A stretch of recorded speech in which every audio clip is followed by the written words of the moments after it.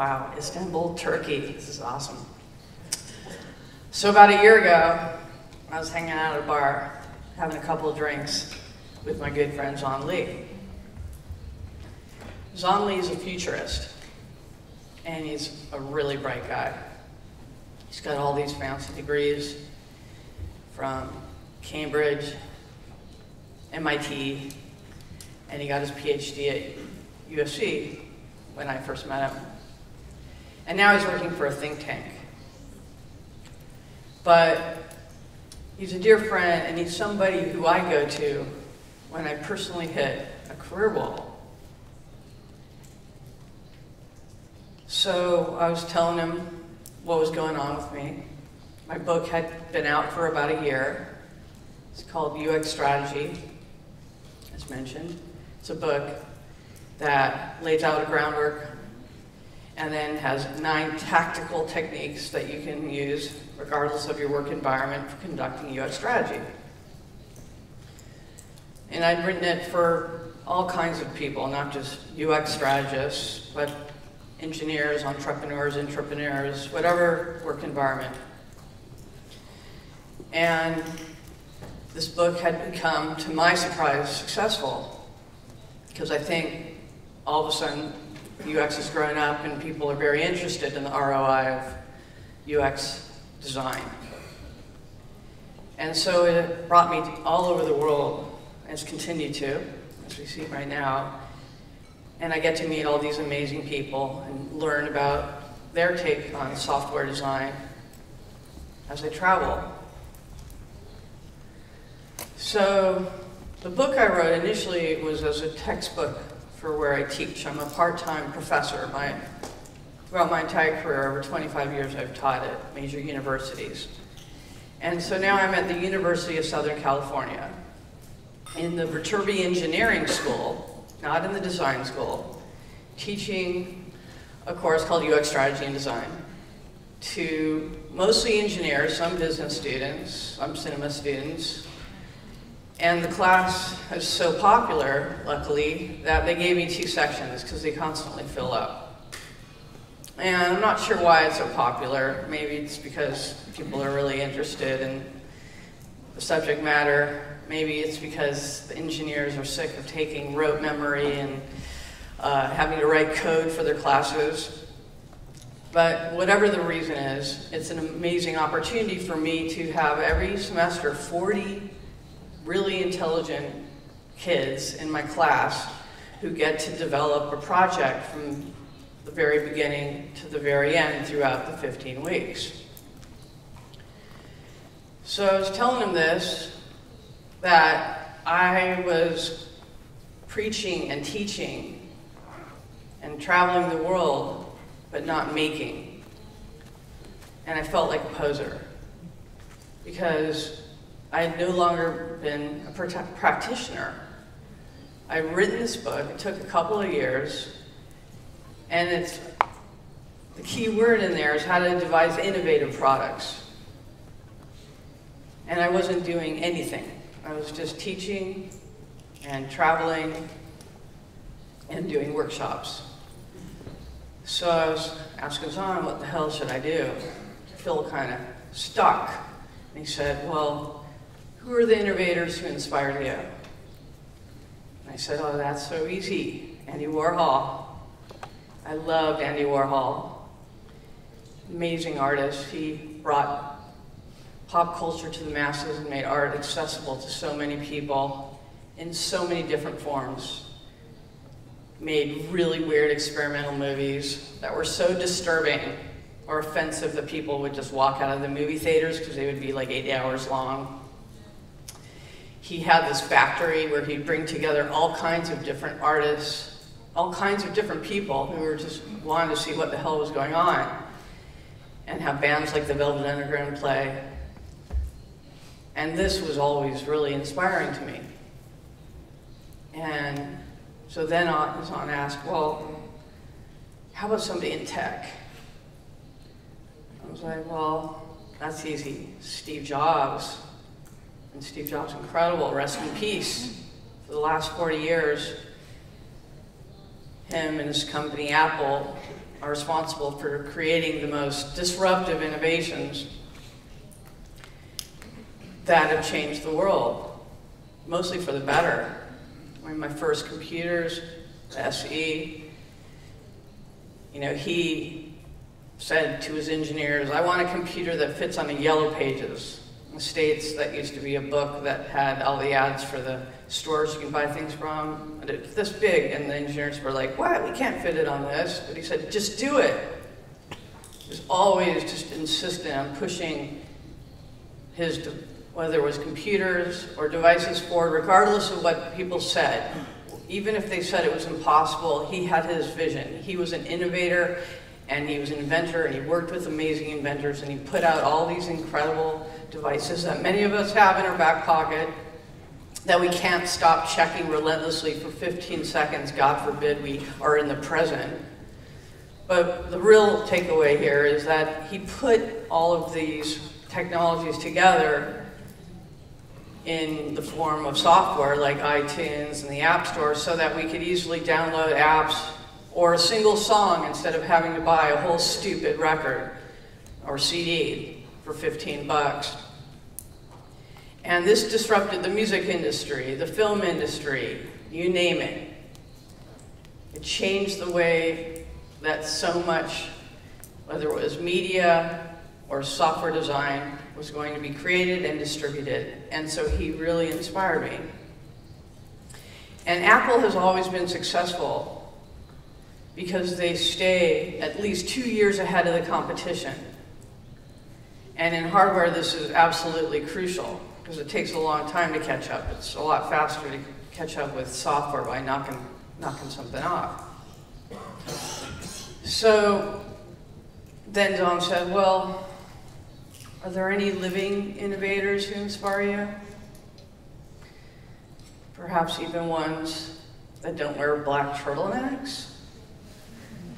I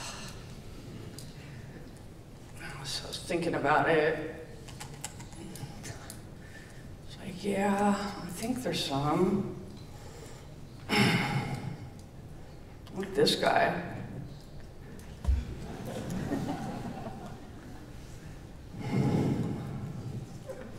Elon Musk is rad.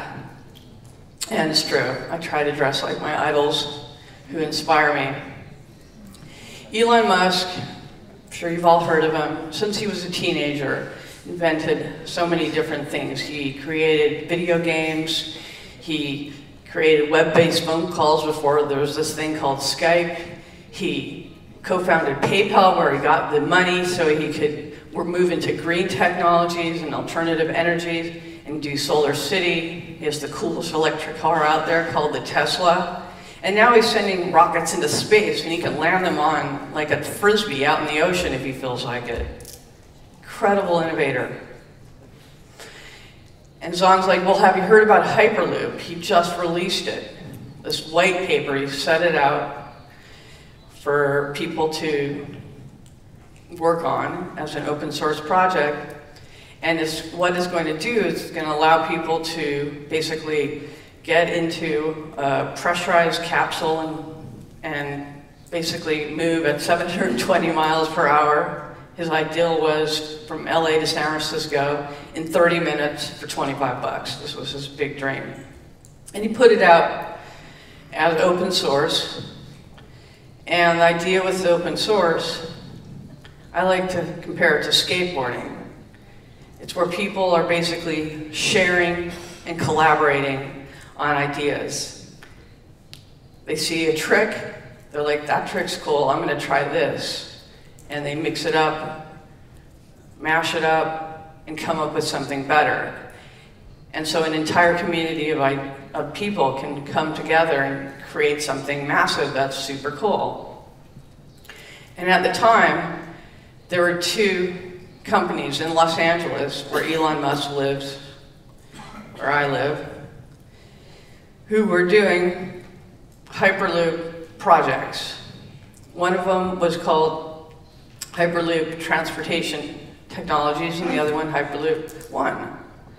But the interesting thing about HTT was that they were using crowdsourcing as a business model. Now, crowdsourcing is really cool because it's this idea that we can all work on one project. It's almost an extension of open source in a sense, but we're all, all our minds, we can work wherever we are all in the world on different aspects of the products or service or system and collaborate as a community to make something for the common good. And this was run by this guy here named Dirk Ahlborn. And he was all over the media dropping the term user experience. So I decided I needed to stop him because I had to get that on an innovative product. So I went to LinkedIn and I searched him up and I wrote him my typical, hey, Dirk, want a free copy of my book, UX Strategy? If you give me your mailing address, I'll send it to you. And if you happen to be looking for a UX designer or strategist, I'd love to work with you. 17 seconds later, he writes me back. It's amazing. He says, everybody on the team is working in exchange for stock options. And you get, you work 10 hours a week. And just write this guy. I was like, uh, stock options that's a sort of concept I've been working with for a long time. You know, I owned my own dot-com company in the 90s and paid some of my employees with stock options. Worked for stock options. They're all monopoly money, most of them. And as my dad says, 10% of nothing equals nothing. And I was like, Dad, this project, I'll get 0.0% of nothing equals nothing. I am going to work on this Hyperloop because I want to work on something innovative that could transform the world and I can have an opportunity to apply my UX strategy methodology.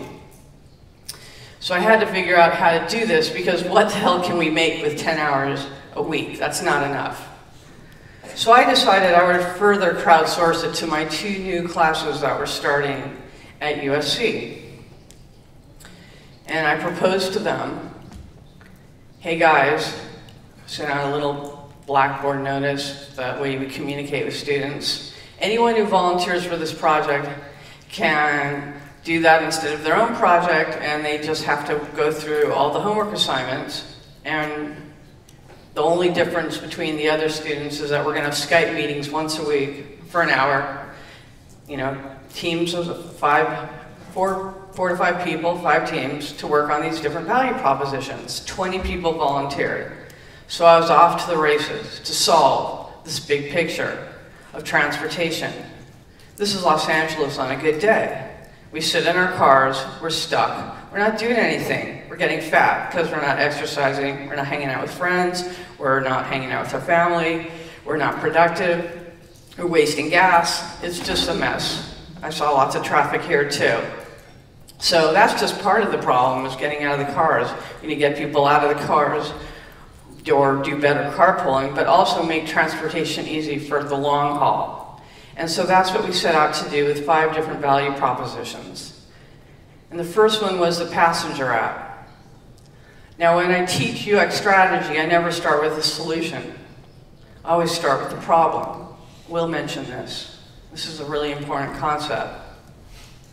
And so for us at this project, it was that business commuters and pleasure travelers are challenged to find a cost and time efficient way to travel from point A to point B. And then I have the students create a persona. It's called a provisional persona. It's not those old school personas that have tons of you know, stereotypes and characteristics that are specific to one person and are pretty much meaningless. But by Alan Cooper's third book, he's the dude who invented personas. He created provisional personas. And so that's what I teach. And I then mash that up with Steve Blank's customer discovery methodology and send the students out to find these people that they hypothesized. So they went to the Santa Monica promenade, found these people, and had to do customer interviews and either invalidate or validate that there was even a problem. Once they did, and then they would look at the value proposition and then do business strategy and look at all the competitors who are offering better, the best solutions out there from traveling from point A to point B, regardless of how many different modes of transportation you're using. And so that's the way all the projects worked. They would do the findings, and then they would create a prototype showing how it could have a rapid prototype. We don't do wireframes in my class, there's no time, there's no point. So we want to show these to customers and get feedback. Feedback from customers looking at wireframes is a joke. The second value proposition was a ride-sharing app. And so we weren't just thinking about people who were offering services such as Uber drivers that we're used to. We were thinking about tuk-tuks and boats and rickshaws and anybody with some mode of transportation that could get involved and offer it so that we could get from point A to point B faster and that it would all be tied together in a greater system. Again, provisional persona. They used Uber drivers because they're basically trapped in an Uber and they all want a five-star rating. Make sure we got validation on the problem and then do competitive analysis and then create a rapid prototype that we can then go out and show to potential customers and say, hey, is this something that you would use? This is not user testing. We don't care about usability. I don't know if you've noticed, but the web hasn't changed that much. Apps haven't changed that much in the last certain seven years. And I think it's about time that we focus more on what we're delivering and a little less on like how fast are they clicking through this thing. So we're testing the value proposition. Will people, do people want it? Will people use it? And will people pay for it or opt into our business model, which happened to be advertising? So this was the big concept in terms of how this thing could be sustainable, how it could either be cheap or free for the customers. And so we had to talk to brand strategists or the people that place advertising. And right now, they're stuck in terms of they want to do geo-targeted advertising. I had 100% validation talking to these people. And we looked at the competitors. And it's pretty limited. I mean, Facebook is great for doing targeted advertising. And Waze, I don't know if you're familiar with that, but it's how I get around LA. I can't use Google Maps, it'll chuck me on the freeway, but Waze just gives me the shortcuts. The only problem is I hit a certain intersection and a little ad for like Burger King pops up and I'm like, whoa, crash. You know, it's not ideal. I don't even eat Burger King. So we wanted to come up with something that was far more innovative. And we were looking at ideas like this bike that you can just hop on for free wherever it is, and as you spin the wheels, it just blasts advertising at people. And then the, the students, after they got validation, created a prototype on how you would actually go through the process of placing an ad where you could target it at customers at any point along the customer journey and that it would be relevant so if they happen to be going to San Francisco and their favorite band was playing, could offer them tickets. If they opted into watching a video or a trailer for a movie, then their Uber ride could be free. That we had an innovative business model tied throughout this entire experience. And so then we had to figure out things at a much higher level and think about people who manage plane systems, trains, buses, you know, I'm working with big data students, so they're not afraid of this stuff. We know that it can be tied together in mind. And so they went out and had to find train managers. And once, this is not, these are not the types of people who are walking down the street. We had to really work hard to find them.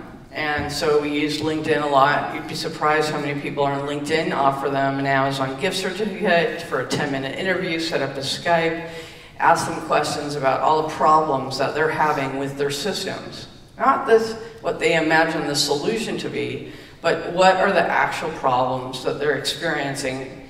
And then at the end, well, if it could be better, what would you envision? And validate, like, this is the type of customer segment that we should really focus on. Not a persona, but a segment so we could build a direct channel to them. Do a competitive analysis, of course, find out that all these legacy systems are outdated, and then create a prototype. And that's the way my class works. And that's how I practice my methodology. And you can practice these things in order. This is for onboard entertainment, which we all know is pretty limited. And you get on a plane. But we knew with Hyperloop, people would be bolted in. They couldn't get up to get their laptop. So we wanted to build something into the back of the seat where you could just click the button and all of a sudden just access your computer and everything would be there and you could type and you could uh, do email or do anything you want without actually having to pull out a laptop. That was what we envisioned. And so this was a lot of fun and a great experience to really tie a bunch of different ideas that were futuristic together in one place and create a new system. So these are the takeaways. The first thing is no matter where you are in your career path, you should always have mentors and inspiring heroes to keep you motivated. The second thing is that if you want to work on innovative concepts or projects, you need to position yourself as a contributor. It's not about the money. And then lastly, by applying a UX strategy methodology to futuristic concepts, even engineering students can attempt to transform the world for the common good. Thank you.